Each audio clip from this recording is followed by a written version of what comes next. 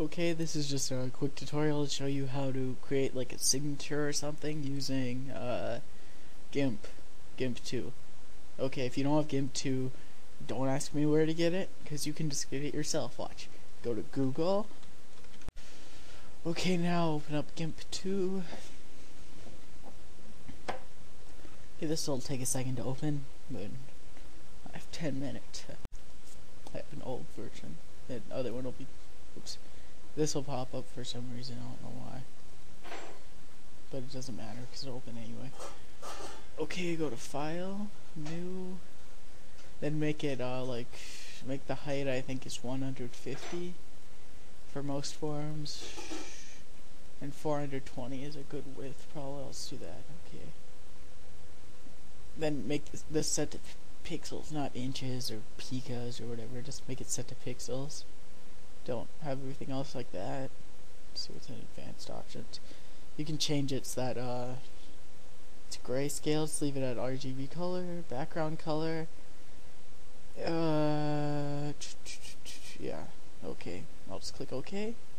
There's my picture so far. Okay, let's start. Okay, first thing you're gonna want to do is make a background.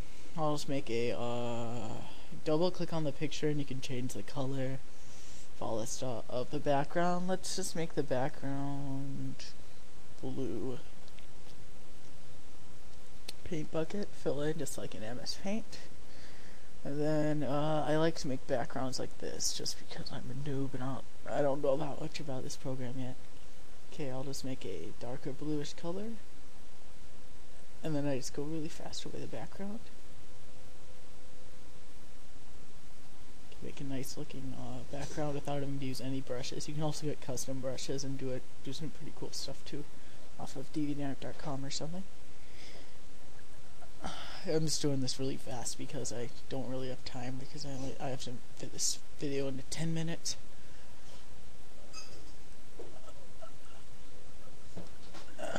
Let's just put a little bit of, let's put a little bit of white in there too. Not a very good background, but hey. Now we'll just, let's put a tiny bit of orange too. Okay, now uh, let's go get my other image file. Uh, open. Then, uh, it was on my desktop, so I double click desktop, images, I think this is right here. There we go. Let's zoom in a little bit. 400%. Ooh, this is a really bad resolution. Now click on this tool right here, your path tool. Okay, now what you're gonna want to do is pick a place to start and just start uh, making these little balls right here, all the way around. I'm not gonna show all this because it takes a second. It takes quite a while to do this, but this is the best way you can do it if there's a uh, in GIMP, I think, if it's not pre-rendered.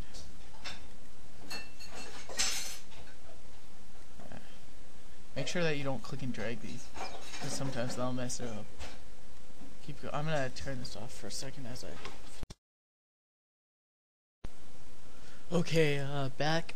Uh, I'm almost done going all the way around this. By the way, when you pick your uh, image, you're going to want to have one with a lot better resolution than this one. I picked. I didn't realize that the resolution was this bad on this one, but so just get a bigger image but it doesn't really matter when it's really small. Okay, when you're done going all the way around with the little things, hey, wait, let me show you.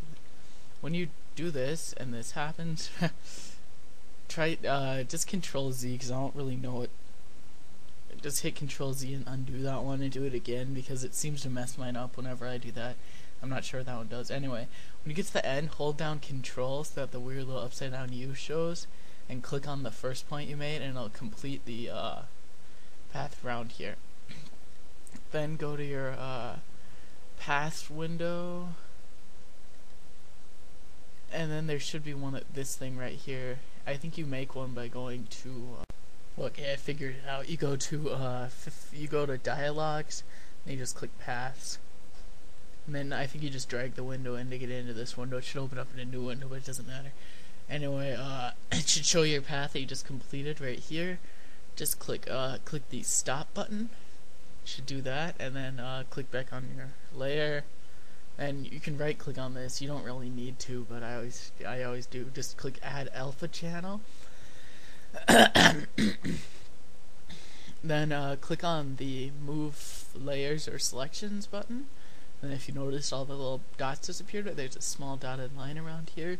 Then right click on this, go to edit, you can do copy or paste. If you want to keep the image, you can do copy, but I usually I just do cut, and it'll cut the entire thing that you just highlighted out of the picture. Then go to your uh, little thing that you made with the background, which should still be open unless you exit out of it. Hopefully you saved if you did exit out of it. Then you can drag around your image on that. So, and then if you right click on your floating pasted layer, which should have just appeared in your layers dialog. If you don't have a layers dialog, by the way, you can just open it through this. And you just click layers. It's not very hard. Uh, then you just click uh, scale. Oh yeah, I need to make a new layer first, I think. I haven't. Oh yeah, here it is. I haven't done this in a little while. That's why I'm kind of jittery. Anyway, just you can make it bigger by just clicking this, then clicking. You just click it up, and then you click scale. I'll make it a little bit bigger.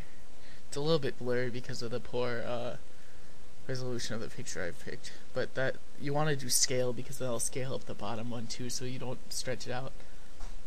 Anyway, let's just put it right here. Then you click. Then you right click an anchor layer. I'll make it part of the background. But I, I always do new layer because that just makes it a new layer. So now I can drag this around still in the background. And since it's blurry, let's sharpen the image. So let's go to blur or sharpen, the little water drop tool. Then you can uh, make it to blur or sharpen it. You just uh, select one of your brushes with that on, and then you just kind of move it over the thing, and it'll kind of improve your. Uh, it'll make it less blurry, like it's really blurry right now. I, I have a really crappy mouse, so it's kind of hard for me to do this very well. See now it's a little bit less blurry. It's still really blurry because it's such a crappy such a small image. Not really crappy image, but anyway. There we go. And then uh, the sides are pretty blurred into the background right now, but uh,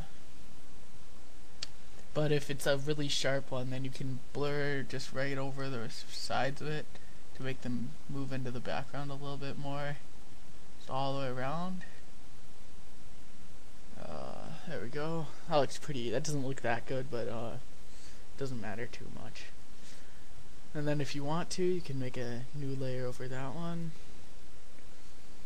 And then you can like add like some extra crap like uh like you could put like a little bit of a I don't usually use those. I usually just um I usually just use these and just kind of uh go like this, you know, like like a small little and kind of make him in the fog or something. This is not a very good sig, by the way. Okay, anyway, let's add text. Okay, uh, just go to filters, text, free type. Th this might come up. I don't know why it does that, but it does. It just click cancel until it goes away. It might come up like a hundred times. Just keep clicking cancel. Now it's loading all my text because I have a lot of text on here. Then I have uh, some of this stuff that I got offline. Let's just use this one because I'm running out of time. Let's put uh, my name. Let's put uh, C I sir. Now I can change the font size here, and uh, I can change the spacing.